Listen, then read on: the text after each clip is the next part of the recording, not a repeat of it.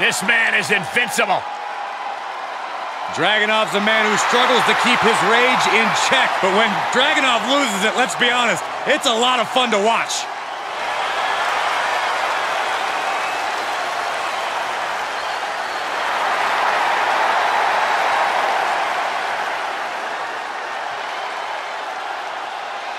And from Moscow, Russia, weighing in at 187 pounds, Ilja Dragunov. You are looking at one of the hardest hitting competitors in NXT history. A man who's ready to unleash fury on the entire WWE roster.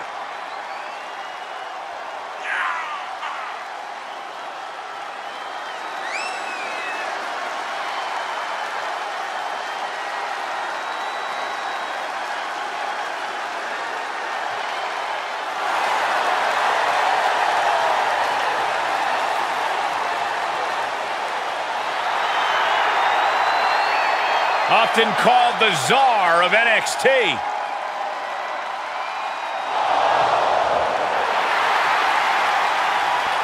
Right now, Ilja Dragunov looking to expand his power to all of WWE.